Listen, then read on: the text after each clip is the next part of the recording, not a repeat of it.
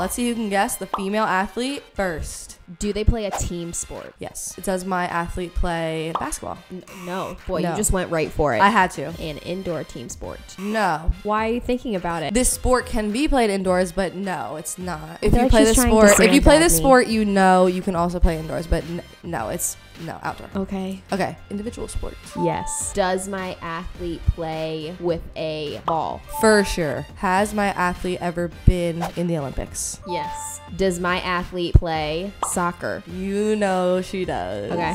Does my athlete use an object in their sport? Bat, a racket. Yes. Mhm. Does my athlete have brown hair? Yeah, the brunettes are the best, by the way. Come on. Is my athlete the Serena Williams? Yes. You got it, girl. Mm, mm, mm.